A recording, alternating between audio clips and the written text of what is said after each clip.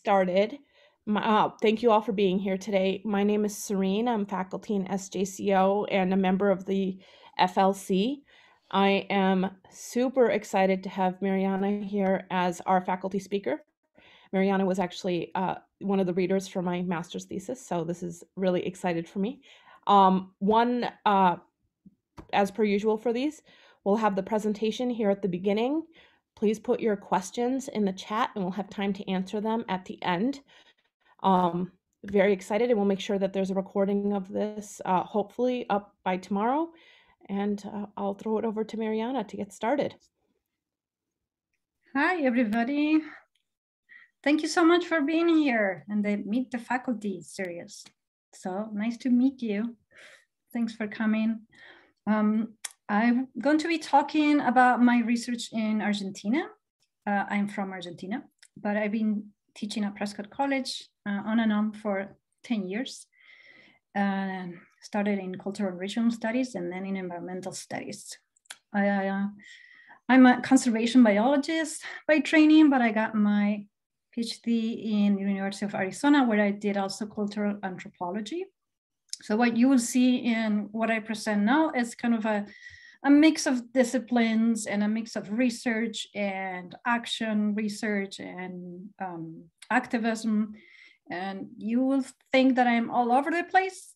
And that's actually true. I'm all over the place. But that's that's how we need to do work when we try to affect change. So let me just start sharing my screen. Mm -hmm. Okay, let me see if we are good there.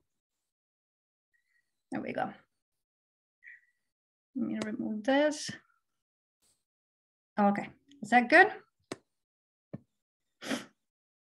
Okay, so I will be talking about the Argentine Chaco, and the idea is to show through this presentation the mutual dependence of the local cultures and biodiversity.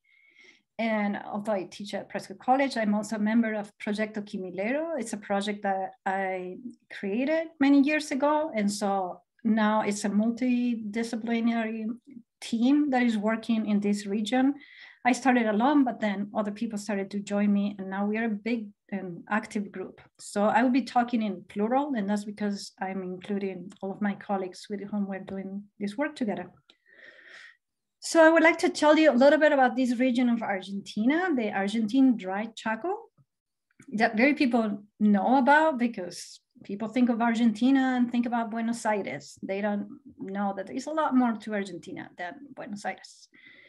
And then I will cover some of the threats that are threatening the ecological ecological and cultural integrity of the region, and the evolution and growth of my research and project.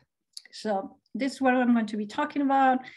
Um, we'll start with the Chaco. The Chaco is, it's sure, it's a pair of shoes, and that's what you find if you do a Google search, but it's also an ecoregion, and it's the second largest ecoregion in South America after the Amazon. And strange that nobody knows about that, right? Well, that's one of the problems with the with what's happening in this region is that nobody knows about it. Within the Chaco region, I worked in a smaller region, but still huge, and it's called the Impenetrable. And so everything that I'm talking about today is about the Impenetrable. Within the Impenetrable, we have the Chaco peccary distribution range. And this is a species that we use in our project as an umbrella species, meaning that when we protect the species, we protect a large habitat because it requires habitats in good conditions. And also it's a very important species for local people. And it's an endemic and endangered species, so we use it also to get more attention. And so that's why our project is called Proyecto Quimilero. Quimilero is the local name for that species. So I started 20 years ago. Look at me, I was so young. Because I was doing cultural anthropology, I used ethnographic methods to do my research and biological methods. So I spent cumulatively about two years visiting the area and living with the local people and traveling all over the place I got funding for my research from the CITES authority from uh, Italy and Switzerland. So I bought a truck and I went all over the place in this region. It's really, really large and distances are large from house to house. I visited families are in very remote areas. And the idea was to get to learn to know the social ecological system and learn how people live, how they interact with their environment. I became friends with many of these families and something that they will do when you visit them as an honor to you is invite you to eat a whole armadillo all by yourself. As a vegetarian, that was a little hard, but I, I forgot about my being vegetarian for two years and enjoy eating armadillos. 20 years later, I'm still in the region and I love the fact that I've been able to stay and work in the same region for so long and now bring my family. So this area is kind of hard. It's hard to live in there because it doesn't rain and it's really hot. It rains a little bit and it all, only rains a couple months in the year and then it's really dry. And so the local people are obviously adapted and have found ways to live there. And that's why it's interesting to get to know this area because it's hard. Like I would not be able to live there because I wouldn't know how to but local people are very, very in tune with their environment and they, they depend uh, tightly on their environment for their survival. When it rains and in some part of the forest where it hasn't been altered a lot, it's really beautiful. And it has very high biodiversity. There are many species that are endemic to the Chaco.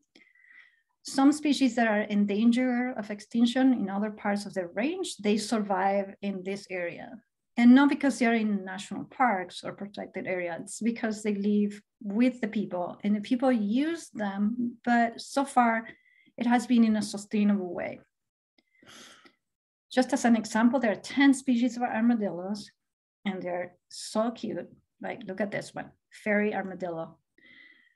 And then there's a giant armadillo. So it's, it's really amazing from a biodiversity, biological perspective.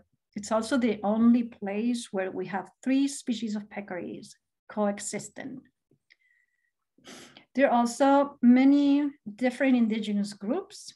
There are 17 groups. Most of them live in Paraguay and Bolivia. In Argentina, there is one large group, the Wichi. In Paraguay, there is a group that still has uh, not been contacted. In Argentina, the Wichi are the largest group and they are the ones with whom we work. So I will be talking about them throughout the presentation.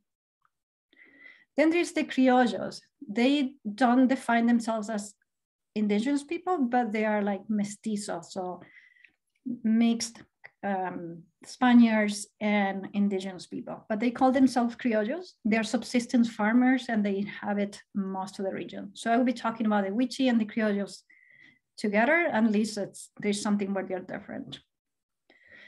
So I wanted to show you this because to give you an idea of how these people live, everything that you see there that is green is forest, like dense forest. The white spots are settlements where these families live. And each settlement might have only one or two houses who are family. So they are spread from each other from a distance of about five kilometers from a house to another one. And this is because they have livestock. And so they need space around their house for the livestock to roam free. And also because of they need to hunt. So each family has enough space around them to have hunting grounds. Everything you see in lines are little trails that connect the settlements, and the ones that are more straight are more important roads. The indigenous people live in uh, settlements that are closer together. So the white, why do we see white? Because the soil is bare, is denuded right next to the houses. And that's what looks white in an aerial photograph. They clear the vegetation around the house so that they don't have snakes going into their house and they don't have so many um, bugs. And also because the goats eat everything around the house and the goats come back to the houses at night. This is an, an indigenous settlement, so they will have more houses uh, together, several families living together, sometimes up to 20 families. By the way, some of the pictures quality is really bad. It's because I took pictures 20 years ago when we still didn't have digital cameras. These were actual slides. Remember those times? And then somehow I had to put them in the computer. So why is it called impenetrable? Sure, it's hard to walk through because it's all thorny forest, but also because there's no water. Um, the water doesn't really collect. So these the people who live there have found ways to collect water by digging large areas underground, and then the water collects when it rains, and it lasts for as long as it lasts until it rains again. The other reason is because it's very isolated. It's far, there are no roads to get there, there's no electricity, no communication. They really live out there. Um, they have never traveled to big cities and nobody has heard about them. Or if, if you ask someone from Buenos Aires, they might say like, oh yeah, Indians live there, you know, something like that. Nobody knows really what's happening there. Other way to get water is from underground water, but that's not good water generally has high contents of salt and sometimes it has arsenic that makes it poisonous for humans. So it's really hard. And that's why it has been preventing more of the development of this region. Here's my friend with whom we did part of the research together, collecting water for us. This is what we will drink during our field trip. And believe it or not, I never got sick from drinking that water, interestingly. The indigenous women, the Wichi, collect water from rivers sometimes, and then they have their own way to filter the water using pottery. Um, but the water from the rivers you cannot drink straight out because of the animals. Uh, the way to mobilize, to go from place to place and go to towns is with horses, with this type of, type of vehicles. It's really hard to use cars because the roads are impossible when it rains because they're dirt roads. And when it's not raining, the, the dirt is so dry that it's like uh, driving through like quicksand. So they have good ways to move around. And sometimes they do have to go to town, and that's what they use to get there. As I mentioned, there is no electricity, but some schools and some houses have small solar panels, just enough for some light and for a radio. And so that was something that became important later in the project to know that everyone has a radio, but nobody has TV. So if we wanted to communicate with people, uh, we couldn't use phones or the TV, we have to use the radio. There are a few schools in the area. Education is super basic and it gets to seventh grade and that's it. If families want their kids to go to high school, they have to move to a village, to a town, or put them in boarding schools. Also, the schools are important because they give food to the kids. Land ownership is something that is important to understand now to understand what's happening. So for the criollos, the government gave them the rights of access to 250 hectares per family. They don't own the title to that, but they can use it. And if they want to acquire the title, they have to pay for it. They, they have to fence their property and they have to build a house with bricks and zinc, which is a really bad idea in a, such a hot environment. The Wichi have small communal lands where they're settled. And in addition, the government created some indigenous reserves, but the indigenous people don't even know where those reserves are because it's not where they live. They're far from where they live and they're too small. So it doesn't really help them. They use the land around their houses where they live which is land that sometimes belongs to the state, sometimes belongs to criollos. Um, it's very confusing who owns the land, and that has created some conflicts between criollos and Wichi, and between them and government and um, corporations who are moving into their area. So local people rely largely on the forest and wildlife for their daily life. All their construction is made with wood and branches and grasses. It's really nice to see how they built their houses. They're very good for hot weather um, because it keeps them cold and they have system for aeration. So they can be there it's 10 degrees cooler than outside. That's why it's such a terrible idea to ask them to build houses where the roof is made out of zinc. Sometimes they do that because they want to get the title to their land, but they don't live in those houses. They also uh, need to collect firewood. All their cooking is doing, done with firewood in different ways. All their fences for their corrals is made with wood. They don't use wire, so they're very uh, self-sustained. They do just some basic logging once in a while. Some families, when they need to get some cash, they will cut down some trees, turn them into posts for fencing and sell them.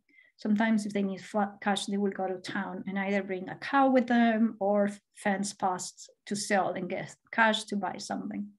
They collect um, honey from wild species. And a very important species for them is this tree that is like a mesquite. It's the same genera and they uh, use a flour out of the mesquite that they save during the year to use in cases of emergency when they don't have enough food. The Wichi women also collect some plants from which they use the fibers and they use the fibers in many different ways. They can even make clothing with that or other things, um, crafts that sometimes they sell and gives them a little extra source of income. So they're all based on a subsistence economy, meaning they produce just enough for self-consumption. They don't sell what they produce. And very small areas where they can open and grow some corn and sometimes squash. Using old technology is very appropriate for their place. And livestock, it's important for them. Um, they cannot fence their livestock because their properties are too small to have enough livestock the cows can only eat what they find in the forest. They don't grow food for the cows. So they can eat leaves and um, even bark when it's periods of scarcity. Sometimes a cow might move uh, a thousand kilometers, sorry, a, a thousand hectares to get enough food along a year. So the 250 hectares that they are allowed to have is very small. That's why they have open range. This is typical in other uh, arid and semi-arid regions in the world. Cattle is also very important for them as a saving. That's like their capital. In the way that we put money in the bank, they have cows. And so their wealth is measured in the number of cows that they have. And if they need cash in an emergency, a kid gets sick, they will go to town, walk in with a cow or two, sell them and use them cash. So they try to not eat their cows. Occasionally they do. They do get milk from their cows and make cheese, and that also gives them an extra source of income if they need to sell cheese. If they do kill a cow, they use everything. There's only one gland that I don't remember what it is that they throw. Everything else is used. It's amazing to see that. Everything for horses, um, what you can see there is made with the, the hides the cows. Their beds are made with wood and cow hides. But their main source of food is goats. And it's the job of the girls to take care of the goats. And that's what gives them the food. Um, often, the only thing they have to eat is a big piece of goat. They also have some sheep, and they use the sheep for making blankets. It does get cold in the winter, and sometimes they might sell occasionally a blanket or two. So here I want to show you what our project was and how it has been changing through time. So I started in year 2000. The idea was to learn more about the local use of wildlife and the conservation status of wildlife, because that's what the Argentinian government hired me for. Then the structural adjustments happened. And so while I was doing my research, so I changed the focus to understand what was happening uh, in the local cultures and biodiversity. 2009, I started to work with a PhD student. I was her advisor, and now she's like the other person leading the project. And we wanted to learn more about how to empower local communities to defend their environment and what's the best education approach to reach these communities.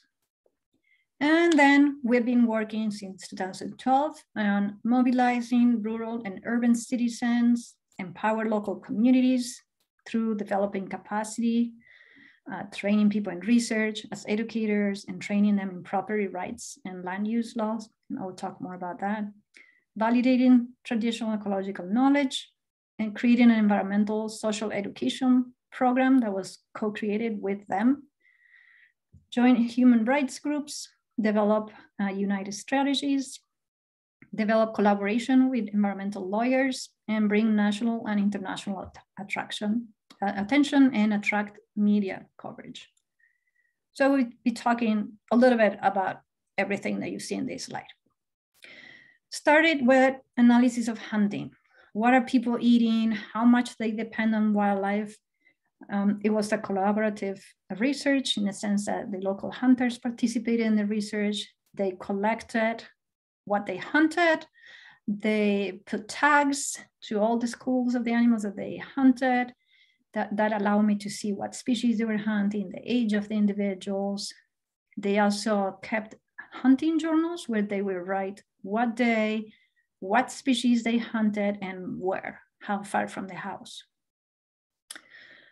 the kids in the house, the older kids who know how to write, helped by collecting information and what kind of meat they consumed every day. So that allowed me to then compare how much of that comes from wildlife and how much from their domestic animals. And we kept these records for an entire year. That was a ton of information. And at the same time, we're doing more like scientifically standard methods to assess wildlife abundance with transects and camera traps. The first publication was an understanding, an in-depth understanding of the use of wildlife and, and the role that wildlife plays in, in this region. Then working with my other colleagues, the first one, Michaela was my student who is now uh, leading the project we compare between the two cultures and to try to understand how they live in the same place and use similar resources and what are their different perceptions of wildlife. And we continue doing that kind of research to better understand how they're similar and different, because if you want to implement a conservation strategy, you really have to understand how the cultures use and perceive um, wildlife. What we found is both cultures have different perceptions and different hunting techniques, but they use wildlife in similar ways and for many different purposes.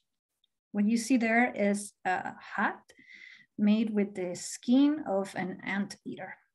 Apparently, it's a very good skin, thick and flexible. The skin of peccaries is used for making other things like saddles, but mostly they use it for food.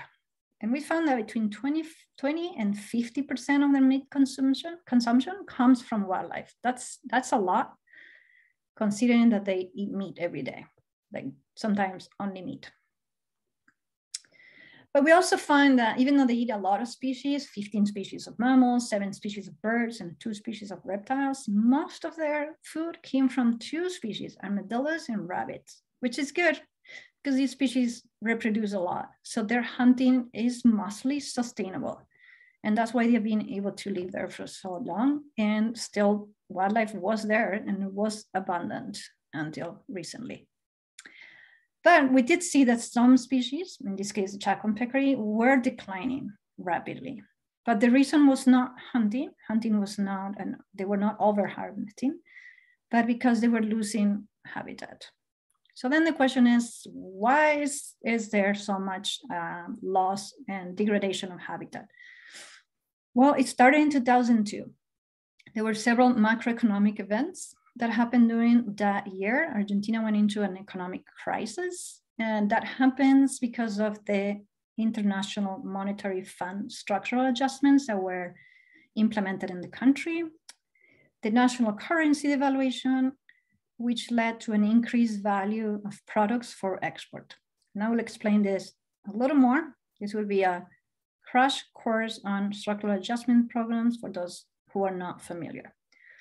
What this says is the International Monetary Funds lends money to countries. When a country cannot pay, they make these adjustments with the intention that the country earns enough money in dollars to be able to pay back the debt. So the country is obligated to implement these measures. What these measures do is increase, increase exports of primary products such as wood, agriculture, livestock, mining. Reduce government expenditures on public sector, that would be putting less money in education, health and infrastructure, and attract multinational investors. So this happened in Argentina in 2001. It has happened in many Latin American countries and other countries too, since about the 80s all the way until now, it keeps happening. So what happened in the Chaco? This all of a sudden increased the value of agricultural products for export. And that led to an increased value of land. Now all of a sudden people have interest in buying land in the Chaco to grow more crops to sell to other countries. That led to an increased privatization of the land by non-local people who were coming in and trying to buy the land. And that led to increase in rapid deforestation. So how did privatization happen? As I mentioned earlier, local peasants can acquire the title, they're allowed to, but only up to a thousand hectares. And it's hard for them to do that because even though the land is very cheap, they still don't have the cash. Non-locals, however, can purchase any size. And most of the lands that was purchased during that time were huge portions of land, like 30,000 hectares. So what do they do? They buy the land, they immediately fence their property, they kicked out all of the livestock that belongs to the local people, and, and then they will work the land. So the locals who used to have their livestock roaming free in the forest all of a sudden see that they don't have enough space for their livestock. So they have to either sell cows or the cows just died out of starvation. The new owners immediately take down the forest. They don't even sell the wood because it's not worth enough for them. What they want to do is burn what uh, is left. What you see there in the left is um, a field that has been recently burned and the forest on the other side. And then they grow soybeans. They replace the forest with soybeans. So who are these new owners? You might recognize some of the names. They're not really people, they are agribusinesses. They are large multinational corporations. Many of these corporations were before in Brazil, um, but because of a lot of uh, international pressure, these companies moved out of Brazil and moved into Paraguay and Argentina, where there is not much international pressure. So as I said earlier, nobody knows about the Chaco. Argentina increased the production of soybeans a lot, from a 3% in the 70s to 63% of the cultivated area is now soybean.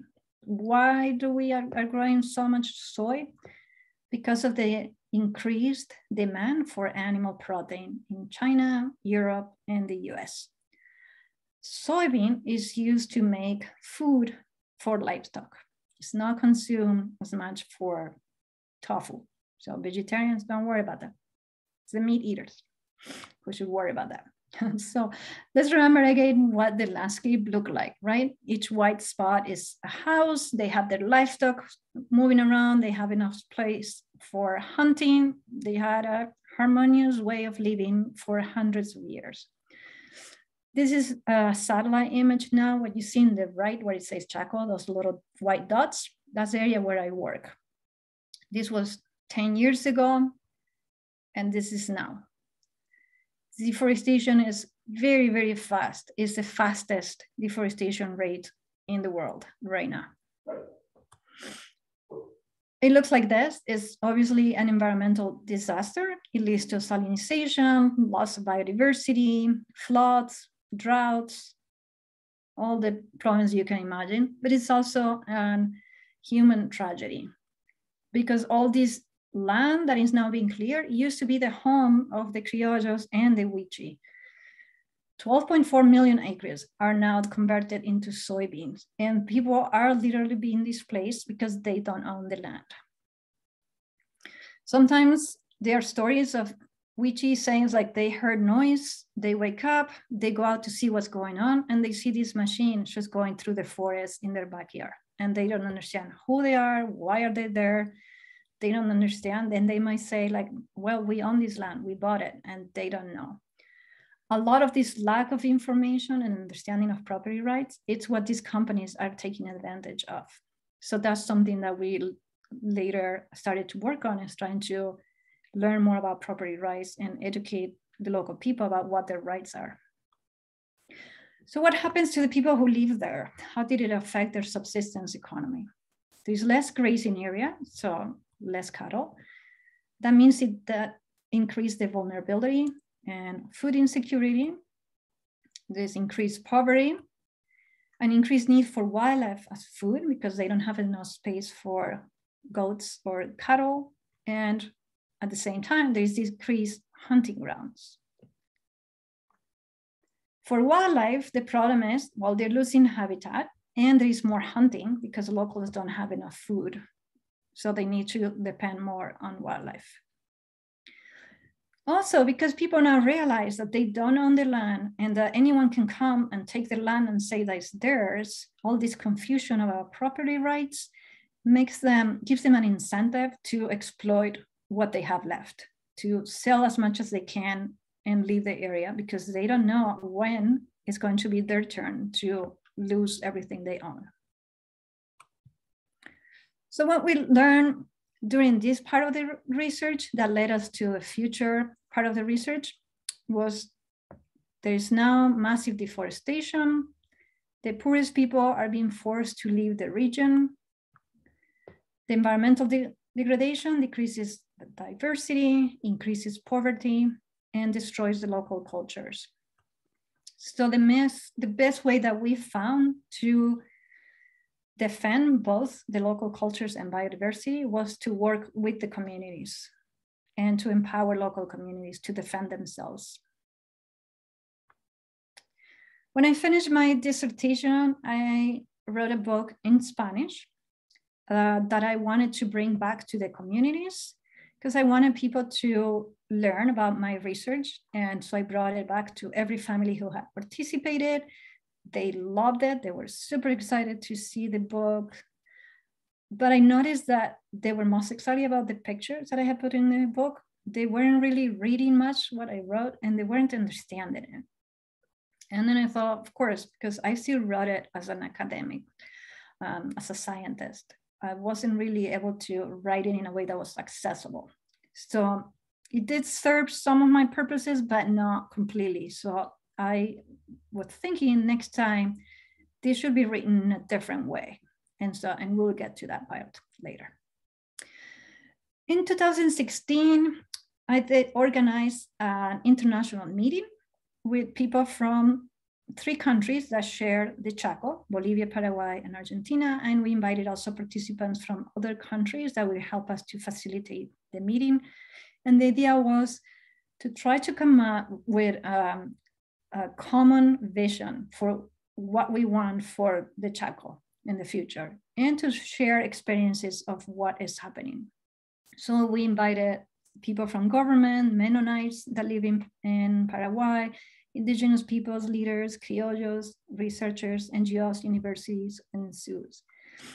I got funding to pay for tickets for everybody. We put everybody in a hotel and we were there for five days, intensive five days working all day, sharing experiences, coming up with a common vision. It was really an incredible experience. It was especially incredible to listen to criollos and indigenous. And here you see in the right side, it's an indigenous leader, Wichi, and the right is a criollo. And to give them the space and the microphone to be able to tell us their experience, what they know, what they want for their future, that was really uh, fundamental for this meeting. These people have never left their village. It was the first time getting in a bus, the first time traveling to another country, first time in a hotel. It was an incredible experience for them, but it's all, it was probably intimidating, but it was also great for them to see that they were not alone, that they had a lot of other people who were interested and so these people went back to their communities and talked with everybody and say, we're not alone, we can fight this. We don't have to just give up and move to live in the poverty belts of the cities. we had working groups with people from different backgrounds. It was a, a really great experience. And what we concluded from that meeting was that we needed to better understand wildlife use and trends. And that's something that they wanted to learn, the Wichi and the Criollos, because they depend so much on wildlife. We needed to strengthen local capacities, especially train them in property rights and land use laws. We wanted more attention from the media. We needed to link property rights and conservation, and mobilize and organize local people, and join forces with other organizations. So we went back with all of these results, which give us like a road, a map to know where we're going and what we need to do. We started with creating a wildlife monitoring and educational program that we co-created with local people. They wanted to learn how wildlife is doing because they don't want to overhunt, but they don't have ways to know it. So we train them in the use of computers, cameras, GPS, maps, and after they got to learn all of this, uh, we did several trainings with wildlife monitors from different communities. They, each community chose one or two people. In the case of the Wichis, that will be doing that. We needed to adjust the our different understandings of space and the use the geography of the place because the way we look at a map and the way they look at space completely different. So that took some adjustments until we calibrated our methodologies. And then we went ahead and they started practicing and it was incredible the amount of information that they collected that they're still collecting for themselves. So then they get together and discuss what to do. Um, here they're collecting information. Once we all had standardized the method, uh, they started to do it by themselves.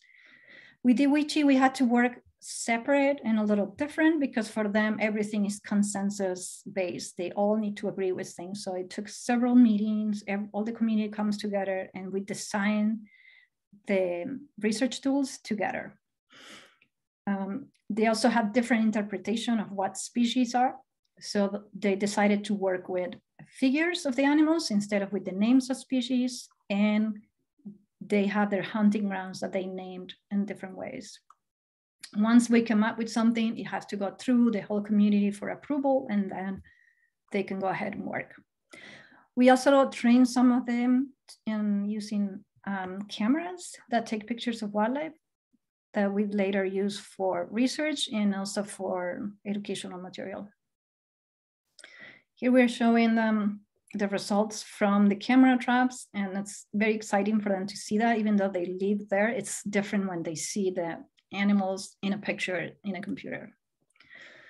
One of the papers that came out of this was the experience of how this process worked, all the, participatory monitoring, how it worked, how effective it was, and the different techniques that we use. And by now, if you see the first author is was my PhD student. We also use this information to compare the way that they collect data with the more scientific ways of uh, camera traps and um, transects. Some of the things we found from that research, if you look at number two, is that these methods contribute to build local capacity because they get trained, they get to learn more, they're using cameras and computers, um, they're better to then use and implement conservation strategies.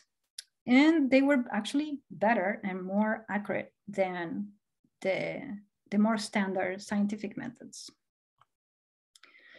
We also designed, co-designed environmental education because I didn't want to repeat what had happened with the book that I published. We wanted the educational material to be something that they will write by themselves. They would tell us what they want the kids in school to learn and how we will write it. So we started with very simple flyers. Uh, they will design the flyer, then they will show it to the elders. Uh, and once the elders approve it, we'll make the material and then bring it to schools. This is an example of one of the materials that they designed, all written in Wichi, and they told us what they wanted their kids to learn. Um, by the way, there's no educational material written in Wichi. The schools are not bilingual and the kids, even though they don't speak Spanish, they have to, everything is in Spanish in their schools.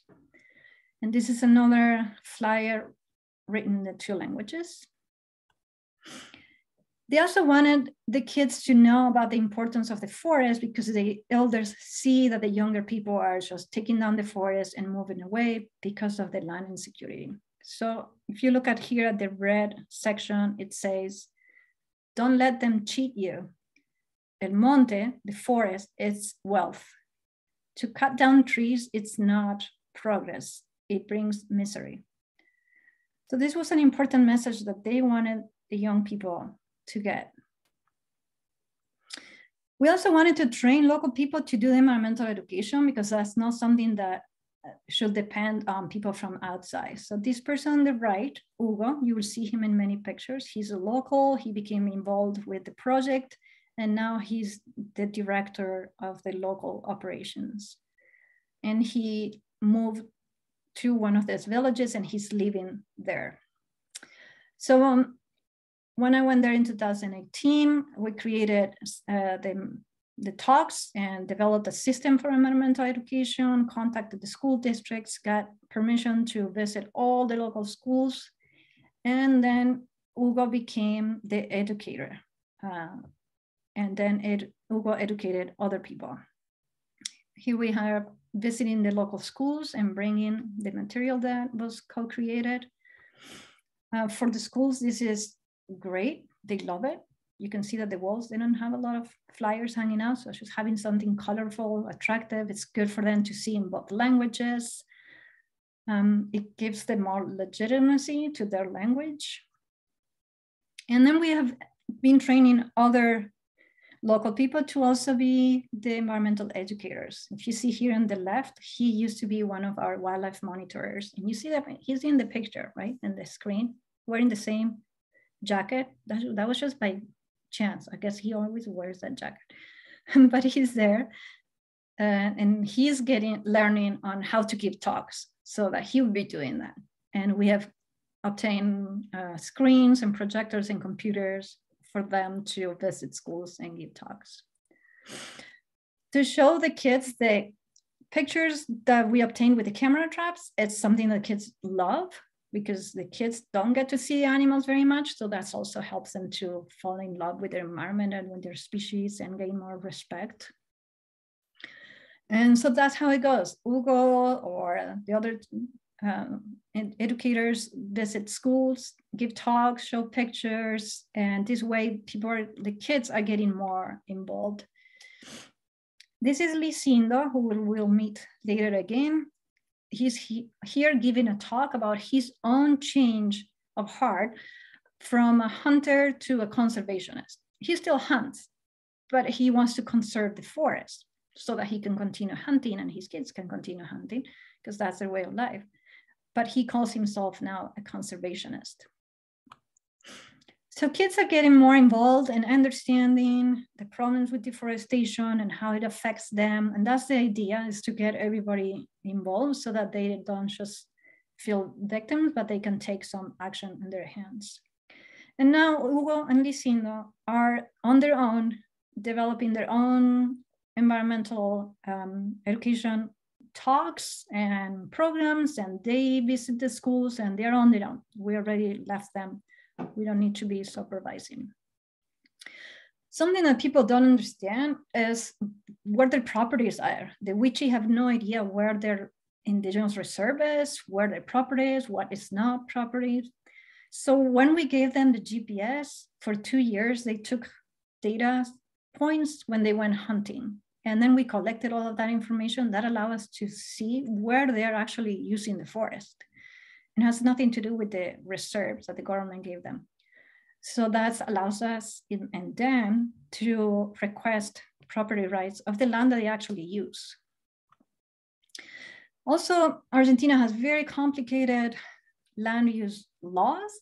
And so we don't understand them. We have a hard time. We need someone to explain it to us, and then we try to explain it to them. But that's super important for them to understand so they can know when someone is doing something illegal. They know now who to call.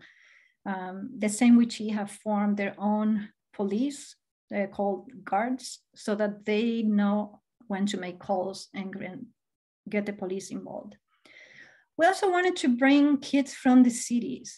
Even within the Chaco, the large city, the capital, people there don't know about the impenetrable. Um, so we wanted to bring those people into the forest and help them to experience the nature and experience the cultures. So we bring them to meetings with the local people, they get to eat their food. We also uh, interact with the park rangers. And so that's helping kids from the cities who might have more power to protest and mobilize in the future to, to learn about their own part of their territory that is it's very far from them. In the villages, we noticed also that the young people were not very interested and they should think about their future as something that they have to move out of the region and go to the city. So getting them involved in the protection and the fight was very important. We invited our local artists and they're now working on making murals. They design their murals and then they paint walls in the buildings um, in the different villages. They were so excited with this mural that they kept working all night long. And then by the next day, they had their mural. It was beautiful. And they're doing the same in different villages. So are artists who are working with us and they just give them some, some ideas of how to do the murals, but they, then the young people do that by themselves.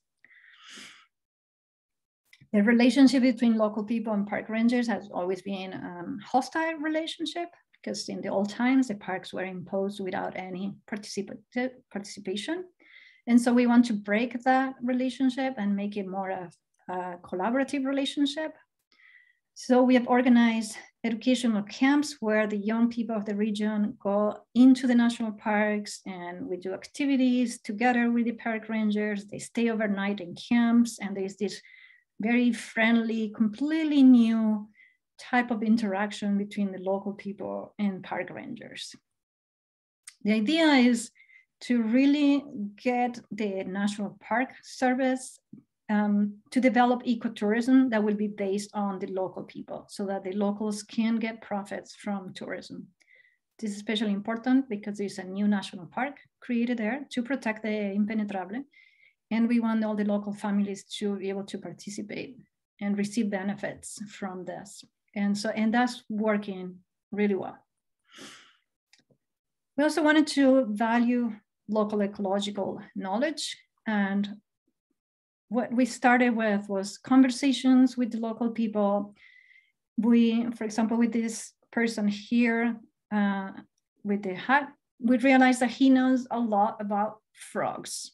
And so we were like, okay, let's go ahead and work with frogs.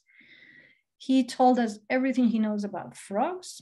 We recorded all the information. He also took pictures. We gave him the camera. He took pictures, and then we put it all of that into a book. Um, he's the author of the book, and the book looks like this inside. It has pictures of the frogs that he took, has the scientific information, and the information that he told us about their behavior, uh, their ecology, and their biology. We showed this to um, amphibians experts in the country, and they were amazed by the amount of knowledge that these people have. And also, they learned a lot that they didn't know about the behavior of these uh, frogs. So here's Licindo reading the book. We printed about a thousand books um, we brought it to all the schools, national parks, all the protected areas, and we gave half of them to Licindo, and he sells them, makes profit with his own, selling his own knowledge. And he's been invited by different radios and news. He has been in the news because he's the first local criollo who wrote a book. We continue with the same idea. And this time we wanted to focus on another other species. Um, and we selected the peccaries because they are very important species for them in terms of food and also culturally. And with the same methodology, we recorded information. They told us a lot about the species. We work with three hunters, Licindo, Claudio, and Genaro. We put everything in a book. Here's Claudio reading the book. They are the authors, and here are the other two authors, Licindo and Genaro. This book now is great and it does everything that I couldn't do when I wrote my dissertation as a book because it's written with their own language. We respected their way of, of talking, their style. It's very different from what I would have written if I was writing this. And so people can read it, mm-hmm. relate to it, understand it, and they're so eager to read it and so excited. And it's not just about the peccaries, but also about how they feel and what's happening. So here I translated a little bit of what it says here. I'm afraid that wildlife here will disappear. These people come and take the wood and take everything. They do that because they have money. They won't stop deforesting because they are greedy. They want our Chaco to be like a farmland.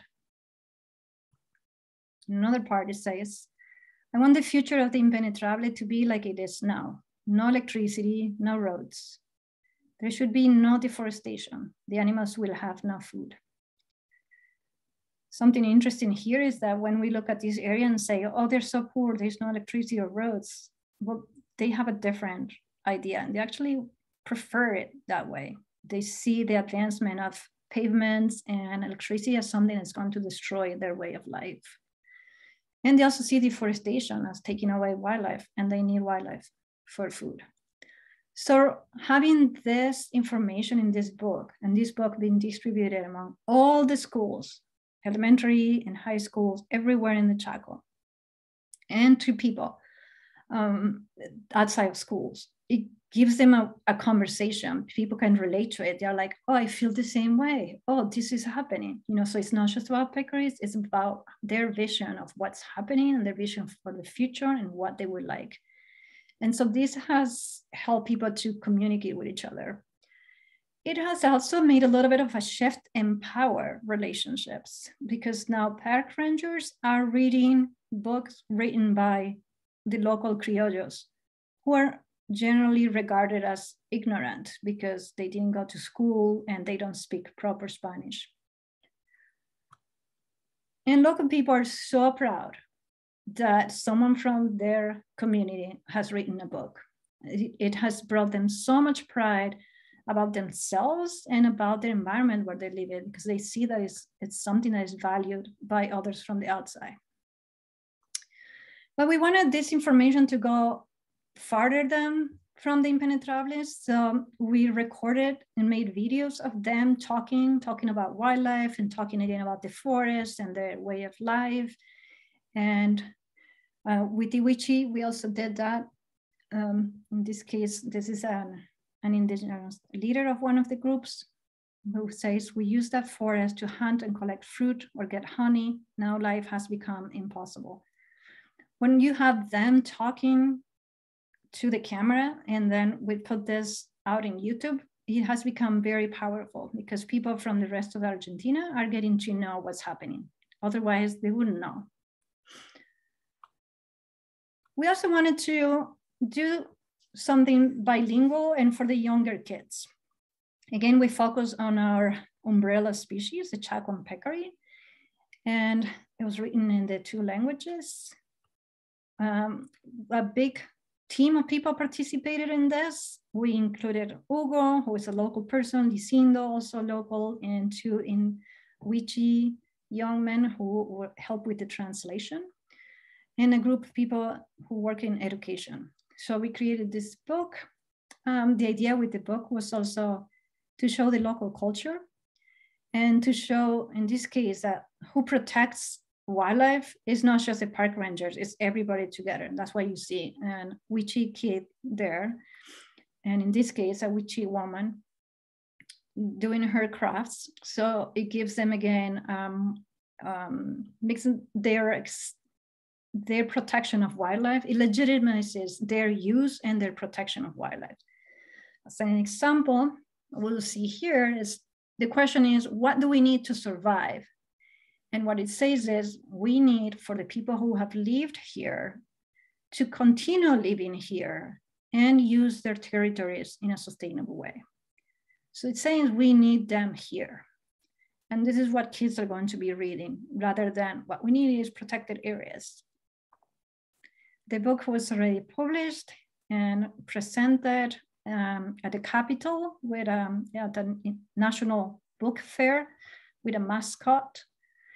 Um, and then we wanted to get also more information across. So we funded the creation of a radio that is bilingual and it's led by um, Wichí person and Hugo again, the local person who is now like in charge of the project in the region, and he is a, a Wichí person. They create a program, they decide what to put in the program, what to talk about, and it's also a place for the local people to communicate with. When if they see a bulldozer coming, they will tell them, we see this in this place, they will immediately say that in the radio and everybody now is listening to the radio and so that the news get through very quickly. Something that we couldn't do otherwise. We couldn't do it by phone because very few people have phones.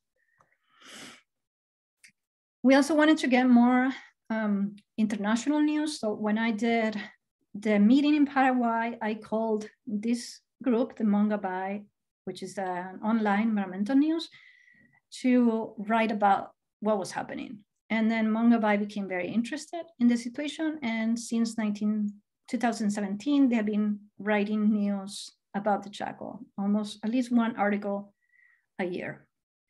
This also helps to bring other medias interested in the place. And so we have the New York Times writing about it. Um, we also uh, wrote a paper about to bring attention about the Chaco peccary in particular, and then the Mongabay wrote an article about that.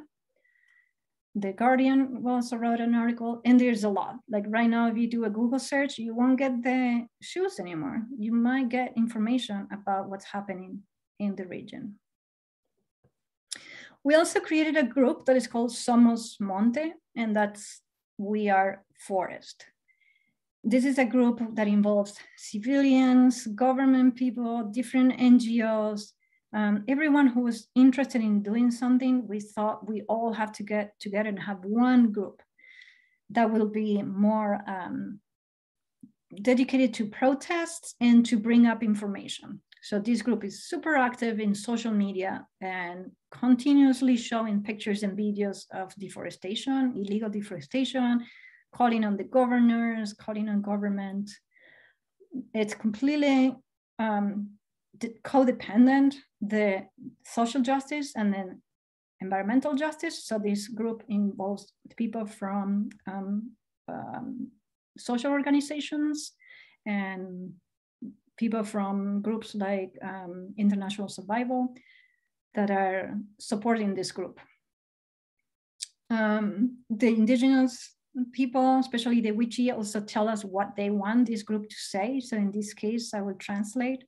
It says, stop colonization and racism. We are earth, water, forest, oxygen, and spirit. And he talks about how they want autonomy.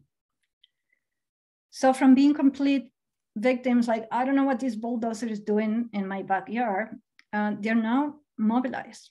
And this has been really amazing. When they see deforestation in the field, they communicate, the radio talks about it, people gather and protest around the deforestations, around the machines. And at the same time, people in the city, young people who are now more involved, also protests at the same time in front of the government. It's like a very quick call, gather at the government house, stop deforestation. Hugo is also participating in uh, scientific conferences to talk about the experience and what's happening. And one of the Wichí a young man who started to work with us when he was 16, he's now going to the court every time that there is um, some discussion about property rights. And he now understands much better the law and their rights and their properties. And, and so he's trying uh, really hard to fight for the recognition of their, of their land. And this is where we are now, still working with lawyers to try to assure property rights. That's the, the most difficult and complicated aspect and the most key aspect. Continue with protests, uh, continue empowering local communities, continue with the locally based social environmental education, and continue with the locally based wildlife monitoring. And I just wanted to finish with this picture again because uh, I love this. The people there so much. They're so generous. And if you ever want to go and spend time with them, let me know. So I'll stop sharing and maybe open time for questions. Thank you, Mariana, for that was really, really informative and very, it was just wonderful. It was super uh, exciting to hear about folks, this is your uh, the Prescott College faculty's chance to ask some questions. Um, so if you're Prescott College faculty, you're welcome to stick around for our uh, so-called happy hour. Um, please uh, put your questions in chat or feel free to just speak right up. Um, that was just that was that was wonderful. So my brain's just still swimming. Thank you. And I see my mother-in-law. Hi, Ruth and Claire and Bob. Catherine, go ahead. Mariana, thank you so much. I was not expecting to laugh and cry um, during that presentation, but I did both. That was just really so powerful. Um, your work and, and the way you speak about it, and a lot of it resonates um, where I'm living now in Guatemala. My question is, I guess, fairly elemental, but I'm just curious. You mentioned as you were developing uh, the instructional materials for younger kids, you are working with locals to figure out what they want their children to know. And I wonder if you have a little bit of a sense, or if you thought about this at all, of the extent to which what you would have thought would be important differed from what those local people thought was more important. Right. Yeah, that's great because we have to I had to like forget about my own views and be like completely open. But at the end, it was like, yeah, of course, this makes so much sense um, because they see it as we need to protect something that we depend on. It's not let's protect it for the sake of the species, but because we depend on it and our future depends on it. So they put a lot of emphasis on their dependence on the resources, on the forest and on the species. Um, so that was bringing in their their perspective that I might not have put so much emphasis on. But the main difference is in the way that the material is presented, the, the style of, of the writing style, their talking style. It's as if they are writing their thoughts. It's not a as, as a writing that has a structure that is organized in the way that we are trained to organize and write our essays this is not like that. It's more like their thoughts become their, their writing. That's especially for the book um, where the three local authors uh, gave us the information. And my job, which took me at a year, was just to organize the information so that they would be a little more flow For the other one, for the book for the kids, um, they told us what they wanted, but then we wrote that because that was going to be used as an educational material in schools. So we did wanted to, to follow some standards in terms of grammar and because it's used to, well, to teach kids also vocabulary, writing, grammar, and writing it in the two languages.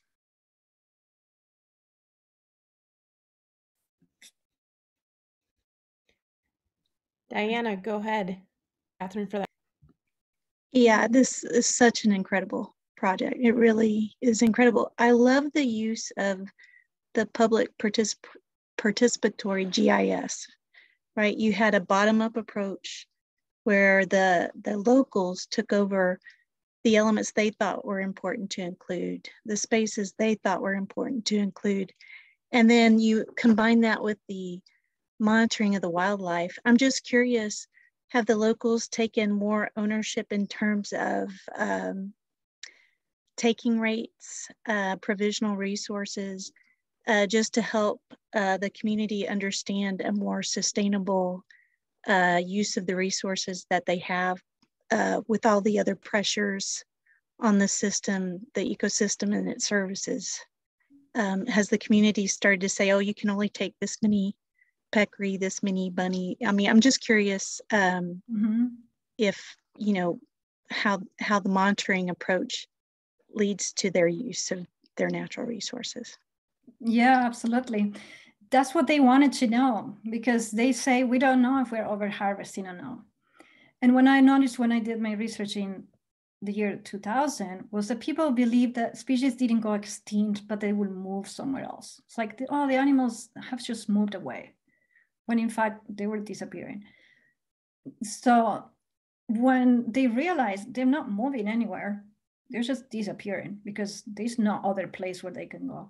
That's why they they were like surprised like obviously are not moving then are we over harvesting we don't want to do that. How can we prevent that? So they wanted this tool to be developed. Um, and with the Wichi the same they also want to see where they're hunting and where they find the, most of their wildlife because they don't know if that's part of their territory or not so for them it was more linked with is this ours are we hunting in our own land or are we hunting in somebody else's land like, why are the criollos coming in and telling us that we have to leave, that this is theirs? We don't know. So by using the GPS, we were able to map where they were hunting, kind of help help them to solve some conflicts. And the Wichi always have meetings, just social gatherings for different reasons. But now every time they meet, they talk about what they have found. Like hey, we did the transects last week and we didn't find any peccaries. And so, so it's a conversation, what they're finding, because they continue doing the monitoring on their own. And so that helps them to know, are the animals here? Are they not? Maybe we're over hunting. So they, they are making decisions about what species to hunt and what not to hunt, or they are making like seasonal bans that they determine and they implement themselves. So it's helping them tremendously. Um, and if they were able to manage all their territory, this would be like the tool they need.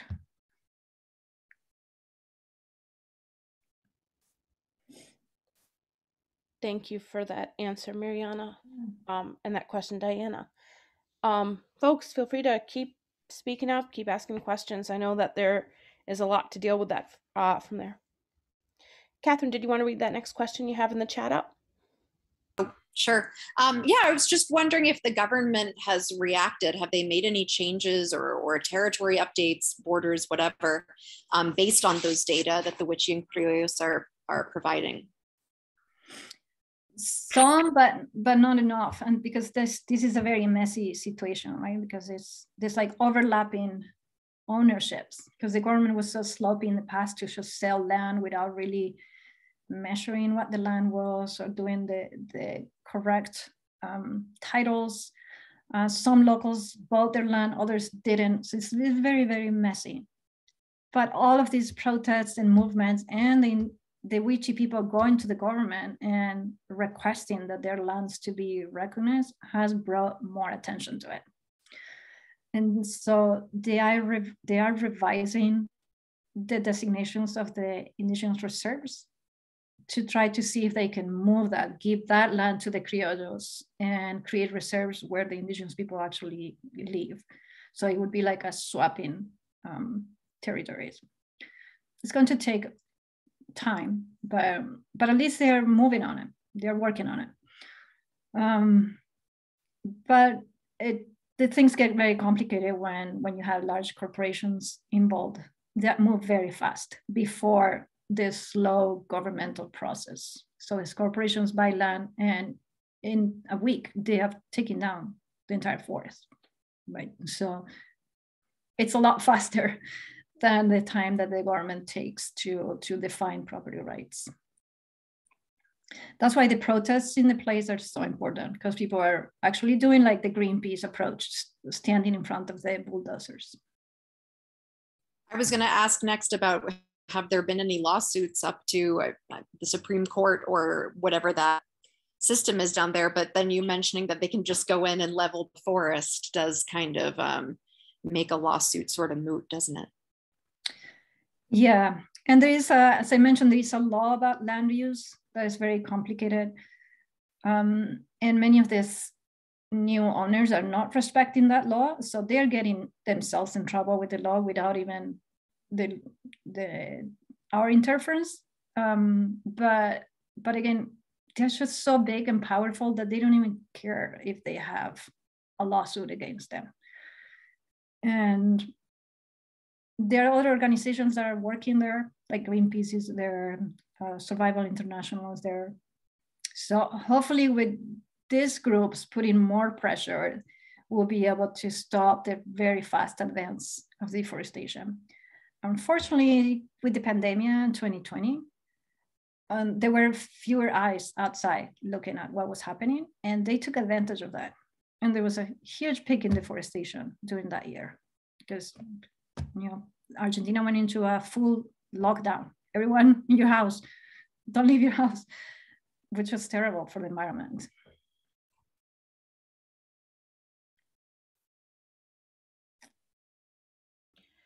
Thank you for that. Mhm. Any other questions, comments? Um, I'd like to ask about how, it's a kind of a simple, basic question. These folks live five, 10 kilometers away by foot or by horse from their nearest neighbors, who are often family members.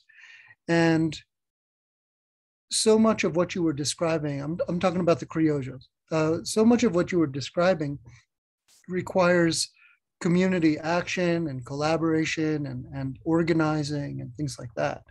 So how how has their culture in the sense of their their separation, geographical separation from one another, influenced their ability to organize quickly and effectively? Yeah, that's a great question. In fact, I wrote a scientific paper in 2010 saying that it was very hard to implement community-based wildlife management in this region because of the distance and the uh, lack of communication between them and the lack of monitoring each other. That still holds true now, except that with the radio, we can communicate more. Everyone has a radio in their house, and that's what they do when they're not working in the field, is listening to the radio. So that allows them to, to be able to know what's happening. And through the radio, they can also call meetings. And they are doing a lot more meetings now that they used to. Um, they also go to the towns when they need to sell an animal or two, and then they get the news of what's happening. So they, they are more involved now in what's happening, mostly because of the radio and also the visits to the schools and the kids bringing information to the house. So this is like that's this is what's happening in their life now. It's like they're taking our land, they're taking our forests, they're taking our animals. That's what's filling up their minds. Whereas 20 years ago, when I started to work, it was not in their minds at all. Is is the very nature of their getting organized a a new cultural um, innovation or or I don't know what to call it? Uh, Is that is that new for them? yeah. For the Criollos, it's new.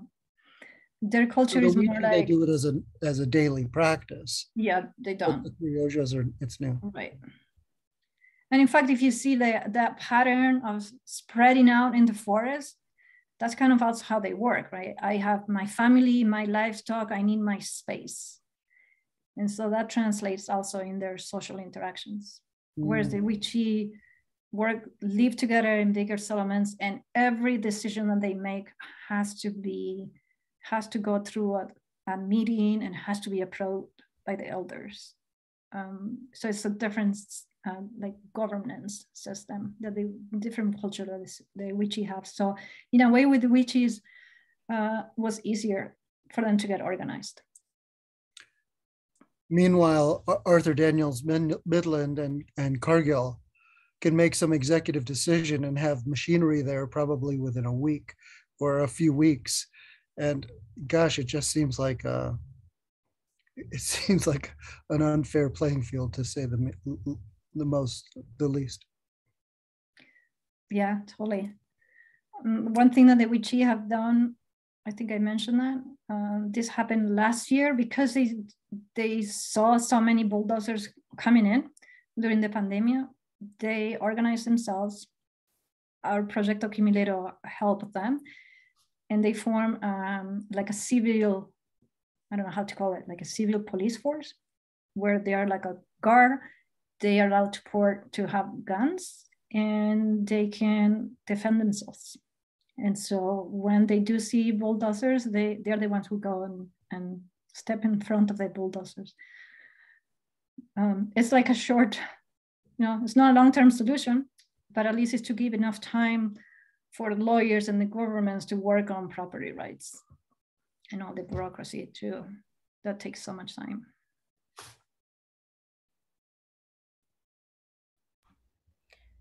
Thank you for that.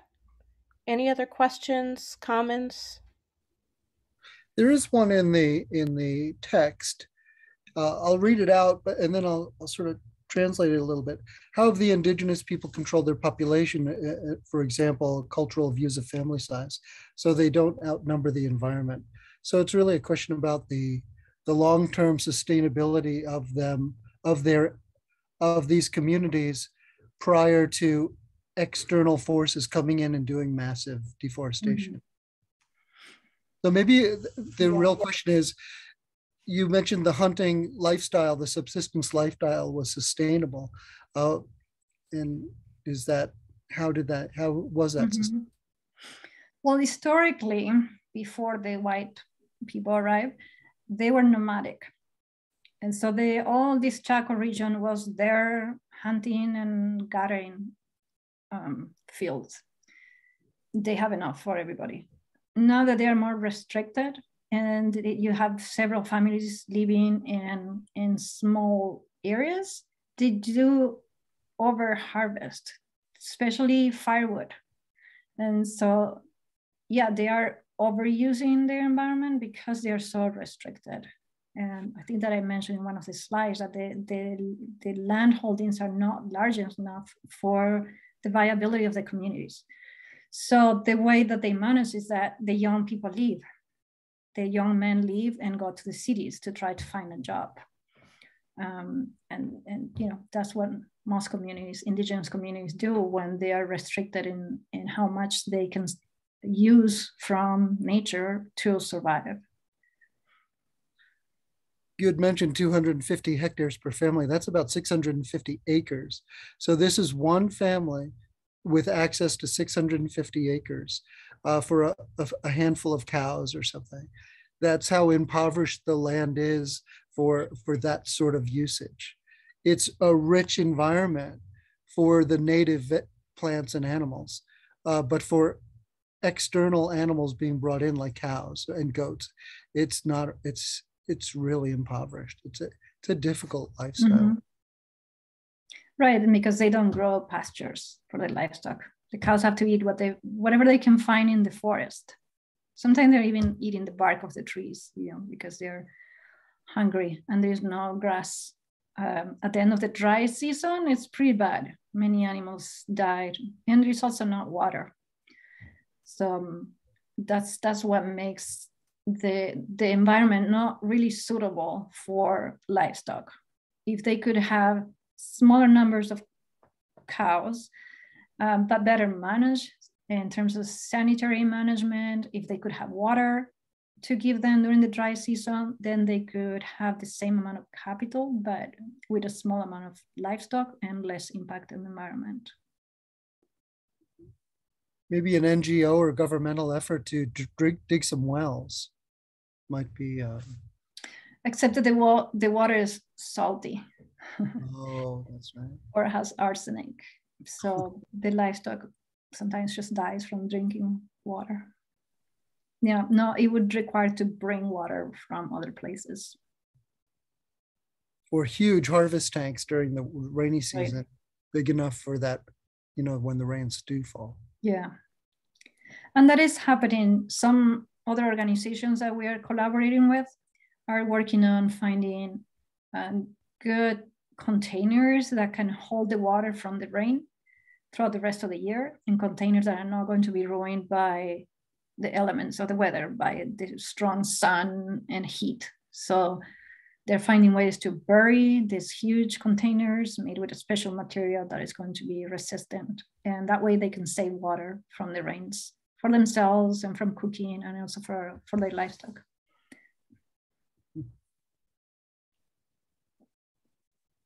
More questions? Um, Catherine asks in the chat, where does water come from for the commercial farms? Mm. So the commercial farms are doing uh, soybean and new GMO varieties of soy allow soy to grow in very dry environments. So that's why we see that the, the agriculture frontier is moving farther north into this area that is so dry that in the past you couldn't grow soy, but now you can. Um, so that's, that's one of the reasons why this region remains so isolated and out of everybody's minds for so long because it's so dry. But now it is worth a lot because you can actually grow soy and the land is still very, very cheap.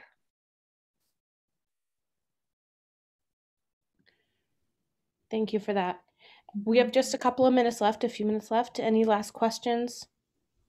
Is Nature Conservancy going down there and buying up land? Or somebody no. like that? Um, yeah, the, the national park that was created right. was bought by um, the Land Trust, which is the organization that was created by um, Tompkins, Doug Tompkins. The, the Conservation Land Trust, right? Yeah. Uh, and so he bought the land and donated it to the national park system. But there's no nature conservancy efforts there? No. That's depressing. Wow. Okay. Maybe there should be. There should be, yeah. Of all the places. Of all the places. It would it would require a different approach though, because they would have to buy the land and allow the locals to live there. Because we don't mm-hmm. want more land that will displace locals. We want land that is protected, well managed, and where the locals are able to live their life. They're doing a lot of that. The last 20 years, they've they've taken on some really difficult communities, and you know the locals are running the organization there. So I think I think it would be. Mm-hmm. Well, if you have connections, I I have one. Okay. Send me an email. Well, yeah. And something that nobody asks about is like this takes a lot of money. yeah. That's part of what we do. It's just like I'm writing proposals all the time, try to get money to fund all of our activities and to buy computers to give to these to the local wildlife monitors and get GPS and cameras and pay the people who go and do environmental education, uh, like Lucindo and Novo. So it does require a lot of mo money to have such project and it's hard to get money. Um, so that's what I do sometimes in my free time. So Mariana, I'm just coming to say congratulations. And I I had a conflicting event, so I'm so sorry I've missed, but I, I will say that I'm teaching advanced research design right now, and I am um, asking the students in that class to watch um, this presentation as an example of um, action research. And I hope everyone mm-hmm. else too will encourage students and the community to, to reach in and watch these um, recordings. I'd like to, to, to mirror that comment, Gretchen, that we've been, we spend a lot of our faculty meetings talking about incorporating diversity, equity, and inclusion. There's a lot of implicit commentary that we need to be moving more interdisciplinarily or uh, potentially even transdisciplinarily. And now we have an example, and thankfully recorded example of pre of the quintessential example of of everything we're trying to accomplish. And this is an example that we already are accomplishing those things. Uh, we just need to inform one another because probably some high fraction of the faculty has no idea. So uh, yeah, I, I, think it's worthwhile kind of spreading the word that These are great ideas. We need to to to move and ever improve. And oh, by the way, we're already doing it in in uh, with at international uh, repute. And I'll, I'll also say that on May 2nd and 3rd, um, there will be a, a small meeting as, accompanying the PhD symposium on community engaged critical research. And soon um, there'll be some more information about how to participate in some of those sessions. And, and Mariana, I'm so excited to have you participate in that. And I think some of the questions that we'll be asking in this meeting are not just, um, I think we know that we should and we already are doing some of these things, but um, there'll be questions about how to build capacity in our institutions and also find uh, things like funding um, to support this type of work. So um, stay tuned for more information on that. And thank you so much, mm-hmm. Mariana. Sure. Thank you for organizing this. This, this is the idea, right? To meet each other. All right. If there's not any last comments, I think we're at the end. Thank you, Mariana, for a really wonderful presentation. I totally agree with Peter. This feels exactly at that intersection of things that we've been talking about. Um, and I'm definitely furiously texting, you know, people I know being like, this is something that we should be paying attention to. Um, thank you for your wonderful work. Thank you. Thanks everyone who stayed all this long time. Sorry, I went a little over time. Thank you. Thank you for allowing me to share my passion. all right. Well, I hope everybody has a great day. We'll see you next month. Thank you for organizing this. Bye. Bye.